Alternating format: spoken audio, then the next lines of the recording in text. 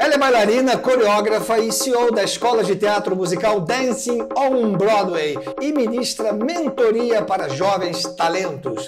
Vamos conversar agora com Elida Sadu.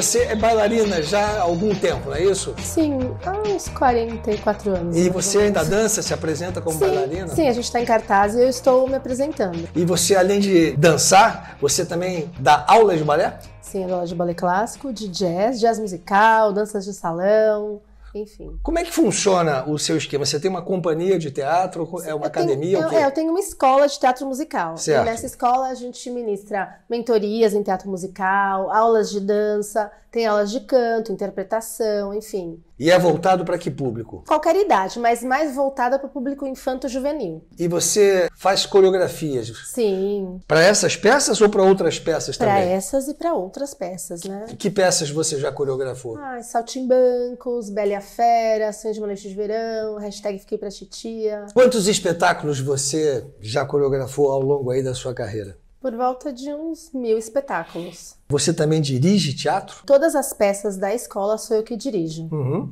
É um trabalho árduo, mas é feito com carinho, com amor e muita dedicação, né, Charles? Como é que funciona a mentoria para esses jovens talentos? Então a gente tem uma mentoria online, é um encontro semanal de duas horas, e onde a gente trata de assuntos pertinentes ao teatro musical. Uh, a gente estuda as peças, estudamos cenário, figurino, é a época em que essa peça foi escrita. É, então, tudo que se remete a, essa, a, esse movimento do teatro musical. Então, é, esses encontros eles são semanais e no final existe uma apresentação e uma avaliação e eles recebem o seu certificado, essa avaliação é no teatro, eles se apresentam para uma banca. E se tratando de teatro musical, obviamente você tem que trabalhar com canto. Você também é que prepara? Não, a Não. gente tem a nossa diretora musical, que é a Aham. Michele Toffolo, e temos nossos professores, Bia Castro, Aline Cunha.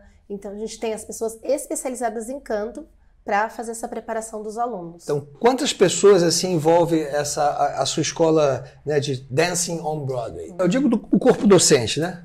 Tem a Pamela Otero, que é a, a que cuida da parte de interpretação. Ah, sim. Você tem, tem aulas de Sim, interpretação sim, também. Sim, Entendi. Somos em mais ou menos 10 pessoas ali para cuidar desse do nosso elenco, dos nossos alunos. Você dá aula também? Dou aula. Na verdade, eu cuido da mentoria e também das orientações. Todos os ensaios sou eu que faço, independente se é de canto, de dança. Então, a gente tem ensaios semanais, tanto no presencial quanto no online.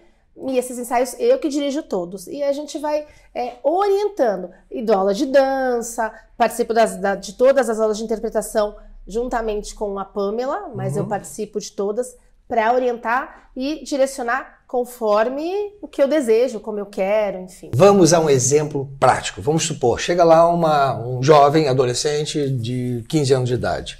Fala assim, ah, eu quero ser ator, eu quero trabalhar é, com teatro musical, mas o cara nunca fez nada. Sim. Né? Você pega essa pessoa e faz o que com ela? Então, a gente orienta que ela participe primeiramente de uma montagem, para ela ter essa experiência de palco e saber como que são os ensaios. A gente é, mostra como ela pode preparar o seu figurino, claro que a gente orienta, a gente tem as pessoas que trabalham para a gente nessa equipe. Então, primeiramente ele vai participar de uma montagem, de um espetáculo. Então, a gente, ele vai ensaiar por uns quatro meses, vai estudar para isso, então vai estudar dança, canto, interpretação voltado para essa montagem, para que ele possa ter essa experiência de palco. Primeiro é essa orientação que a gente faz, né? Certo. Que eu acho que é o mais, acho que é muito importante você ter essa experiência de você subir, se sentir ali familiarizado, né? Sim. E ter aquele contato com o público, porque o teatro, na verdade, é diferente de você fazer cinema, de, fazer, de você fazer televisão, né? Sim. Então, cada um tem uma vertente, cada um é importante, mas é, eu- a- o que mais a gente prima mesmo é essa coisa do contato, de você se sentir tranquilo para se movimentar no palco e interagir com a plateia. Como é que você faz quando aparece uma pessoa tímida e quer trabalhar com isso? Então, é, uma das principais é, características do teatro mesmo é trabalhar a timidez, essa coisa de você melhorar a sua fala em público, a sua realmente a sua é, gesticulação. Então a gente realmente a gente passa a fazer um trabalho bem direcionado e focado com essa pessoa. Eu tenho muitos alunos tímidos. Tem? Tenho. E, e a gente vai é, tendo essa métrica, né, de quando ele começou e é o ponto que ele tá depois de um tempo. E você vê que é uma melhora é, significativa, Uhum. né? Tanto que ele começa a falar melhor, é, interagir melhor com, com os amigos, enfim, né? Com o pessoal que trabalha com a gente, até com os professores. Tem aluno que chega lá e na aula e não consegue nem falar. A Ah, princípio. Assim, o primeiro contato, né? Sim. E, claro, a gente trabalha bastante articulação, Aham. né, respiração, que a gente acha importante, expressão corporal, é, senso de direção, é, coordenação motora. Isso ajuda muito essas crianças e esses adolescentes, porque tem muito adolescente que também é muito tímido, né? Uhum. É, e que a gente se sur- se surpreende, porque às vezes ele chega tímido, mas quando ele sobe no palco ele é uma outra pessoa. Entendi. Então, é, esse trabalho, a gente faz um trabalho de base. Né? Então, acho que isso é importante. E aos poucos, né? É um degrauzinho de cada vez, né, Charlie? E, e se o cara chega lá, né, o candidato chega lá e, e- e é desafinado, mas quer fazer? Gente, então. Né? Não, O cara quer cantar, mas não sabe cantar, ou canta desafina, ou acha que canta, mas não canta, entendeu? Então, é, eu acho que o canto é uma coisa muito específica. Certo. Né? Eu, a gente, claro, quando você quer fazer teatro musical e você quer seguir, você tem que ser um bom cantor. Tem que cantar. Tem que cantar bem, É. na verdade, né? Porque um protagonista de uma peça de teatro musical, ele tem que cantar bem. Tem que cantar mu- bem demais. Tem, não né? tem o que fazer. E para isso a gente tem nossa preparadora de elenco, a nossa preparadora musical, que é a Ah. Michele Toffolo, Ah. e temos nossos, nossos professores, que são professores que já têm muita experiência, são professores que já cantam no teatro musical, que têm formação de ator, de atriz também. Então, a gente acha isso muito importante. Tem que se preparar muito, né? Tem, tem. É, eu acho que é, um- é um estudo. Como quem quer dançar, Charles. É assim, isso. é que hoje as pessoas têm essa coisa do imediatismo. É isso. Né? É, é. E Tudo, não- tudo pra ontem, é né? tudo pra Eu quero ser ontem. ator e pronto. Já, pronto, E- amanhã, já, amanhã já vou fazer sucesso. E é complicado, porque, por exemplo, se eu falo, eu, quando eu comecei a fazer balé, Aham. se a professora, quando eu falei, quanto tempo eu vou ficar bom? Né? Todo mundo chega pra mim e fala, ah, em quanto tempo eu vou ser bom? Em quanto tempo eu vou estar Preparar. arrasando, preparar? Se eu falo oito anos, porque pra eu me formar num- numa escola de balé, Aham. são oito anos. É, para você se formar é, como pianista, são nove anos. Sim. Se você fala isso, de repente, para um jovem adolescente, ele acha um absurdo. Aham. Porque tudo é, é muito pra ontem. Sim. E as pessoas têm que entender que é um processo. Uhum. Que é um, claro, se você começa mais jovem, tudo é melhor. Claro. Mas agora, se você começa quando, a- tipo, de adulto, eu dou aula de balé para adulto. Né? Então, é, é claro, é um processo diferente. Eu dou aula de balé para artistas, para atrizes. É um processo diferente, mas é um processo que a gente tem que entender. É, E é possível que ele não chegue nunca a ser um primeiro bailarino, mas ele mas vai ele vai- saber dançar, fazer uma coreografia, participar. Sim, tudo é técnica. Claro.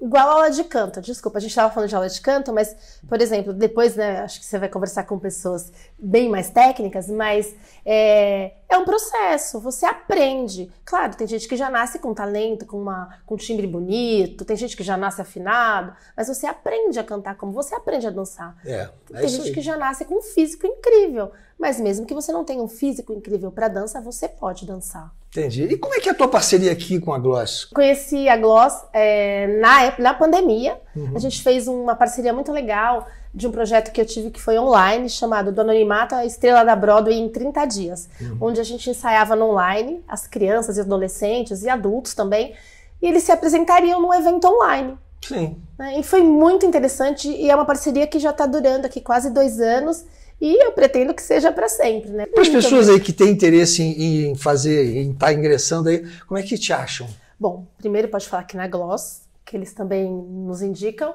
mas também tem um site que é o www.hsdançaseeventos.com.br ou nas redes sociais, arroba Danca ou arroba Dancing on Broadway. Tem muitos endereços. Muita coisa.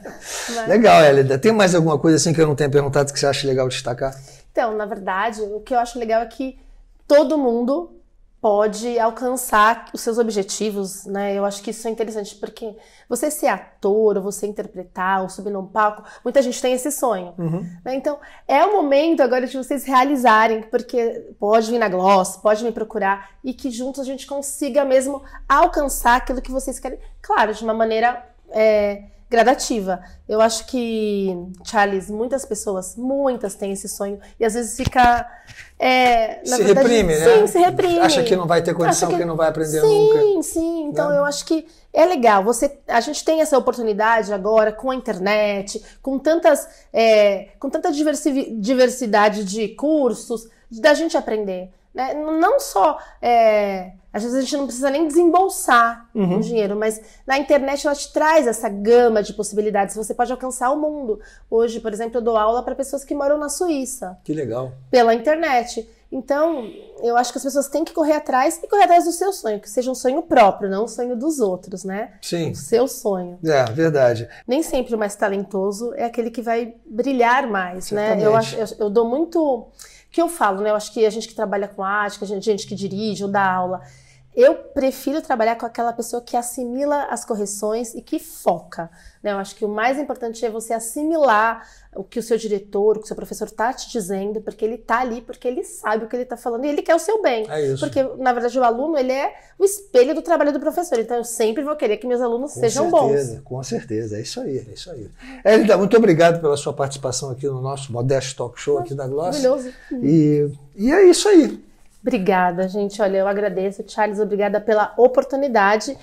E agradeço a Gloss também pelo convite. Vocês aí que estão aí ligados aí, querem entrar nesse mundo artístico, nós somos uma porta aberta para vocês. Para isso, basta você se inscrever aqui no nosso canal do YouTube e também preencher. Clica aqui no link que tem aqui embaixo, aqui na descrição, que você pode fazer um cadastro e aí vir aqui a Gloss, conversar com as pessoas, conhecer a estrutura e ver se tem alguma coisa que te interesse fazer aqui dentro acho que pode ser uma boa oportunidade. É só clicar no linkzinho aqui abaixo, ok? Bye bye. Até o próximo programa. Bye bye.